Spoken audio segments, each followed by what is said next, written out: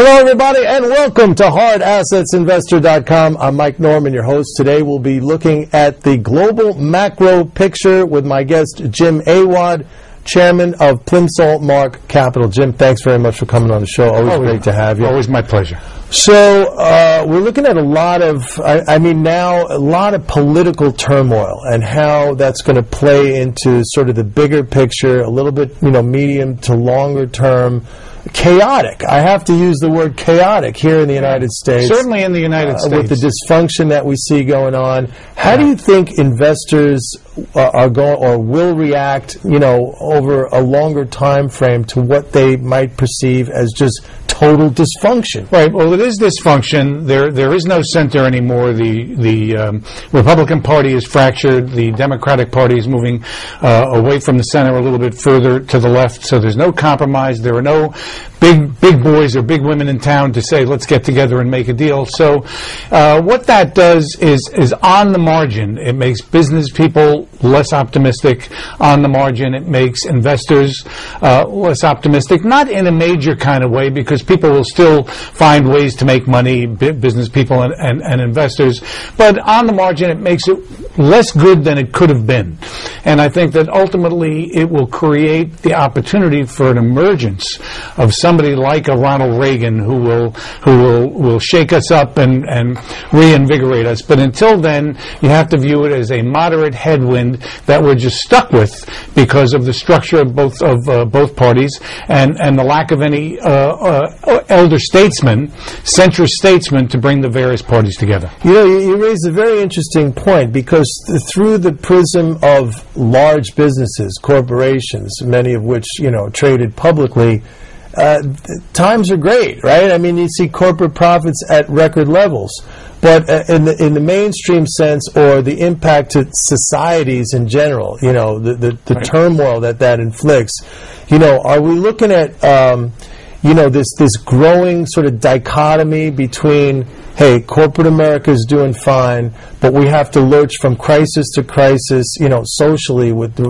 uh, protests and this sort of thing Well, in, in the big picture, corporations are doing well because it's been a capital-led recovery, uh, not a labor-led recovery. And you know, part of that is secular, that uh, the economy is simply not growing at a fast enough rate to create opportunity for, for Right. everybody. Right. And therefore, the older people aren't retiring, and that makes it tougher for the younger people. So there's high unemployment uh, for younger people, and also that that creates a situation where the rich get richer and the middle class struggles, and the poor uh, only get by because of the uh, the government safety net. So that is a separate issue. That the, the capital sector is doing uh, fabulously well. But Uh, do, but, do, but do they have a disproportionate impact on policy? I mean, they're the moneyed interests, right? And I mean, despite people call Obama a socialist, yet we see this acceleration of the wealth flow up to the top.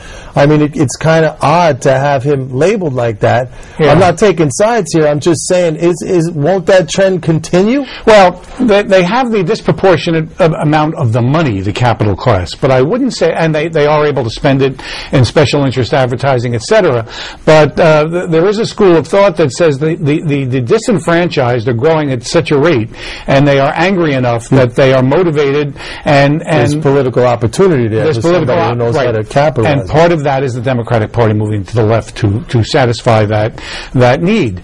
And then you have the Republican Party moving to the right to to uh, cater to the anger of the, of the white upper white class. The that, Tea Party. yeah, that no longer dominates the Right. the economy or the uh, or the politics of, of the country. So there is a broader issue here of of uh, the rich getting richer and the, the, the, middle class struggling and the and, and the poor struggling. That that will be addressed through. Thank God we have a peaceful uh, society and a democratic process, and we'll work our way through all of those issues. But the point for an investor Right. is what however the economy is doing, it would do better if you had a functional Washington Sure. that could solve some of the growth. Right. Uh, everyone would be, be more inclusive. Right. So le- I'm glad you kind of segued into the investment angle. You know, you, you've been a long time investor, market observer. Uh, given the conditions that we see now, the sort of political dysfunction, austerity kind of everywhere, Um, what do you do as an investor, and how do you protect yourself against you know the potential uh, pitfalls? Right. Well, it is a low return environment. You're getting nothing on, on cash and very little uh, on bonds. So those are two areas that you should avoid. You are having reasonable growth in the world. Not high growth, not growth enough. But It's the U.S. is Goldilocks. yeah, well, sort the. U.S. is growing at sort of 2%. For the moment, Europe appears to have bottomed. Uh, uh, the, the deceleration in China uh, uh, appears to, to be over. Uh, India, we'll see. Uh, Brazil, the deceleration for the moment seems to be over. So you have to say that the worldwide economies will grow somewhat. And the best way to capitalize on that is to own multinational uh, equities, particularly those domiciled in the U.S. with, with, with bulletproof balance sheets, dividends, and, and global footprint. Uh, having said that, uh, part of the U.S. markets, uh, the speculative parts, have done better than they really should do, and I would reduce exposure to those because what's happening is because of what the Fed's doing, you're getting tremendous speculation in the credit markets. Right. And I fear that when interest rates normalize, as they they ultimately will have to, that people who shouldn't have gotten debt uh, have gotten it. We're going to find out they can't pay the higher interest rate, and I'm fearful of an accident in the credit markets. So what I would say is, uh, do own global conservative equities, but uh, don't don't own low quality stocks, don't own low quality bonds, because uh, you could have an accident in the credit markets that that will sus- surprise us one day. So I'm wondering because you're talking about the ultimate, you know, normalizing of interest rates. Um, how does that bode for the materials sector, which has seen a, a big pullback? You know, if you're talking about commodities, raw materials, like I tend to be contrarian. I look at this and say, you know, if you are a long-term investor, that's a great place to put some money to work right now. Do you agree with that? If or- you're very long term, Very I don't long. think growth in the foreseeable future will be uh, uh, uh, enough to sustain those prices because the, the big importing countries, which are the emerging market and the frontier markets, uh, uh, they don't seem to, to, to be experiencing the growth uh, right now to sustain higher prices. But you do know in the long run the, the middle classes in those countries are growing. They're going to demand more uh, goods and services and, and, and they're going to have more wealth and that will drive higher prices. So I would say if you have a five to ten year outlook, you're right. If you have a one to two year outlook, I'm not sure you're right. Okay, so summing it up, I think you just summed up the material sector pretty well.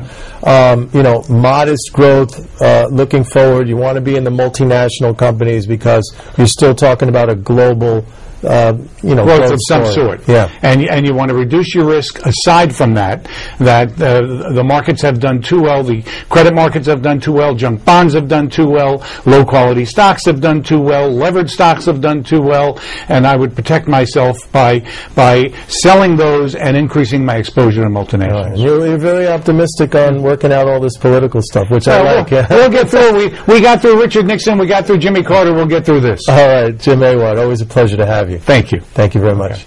That's it for now, folks. This is Mike Norman saying see you next time. Bye bye.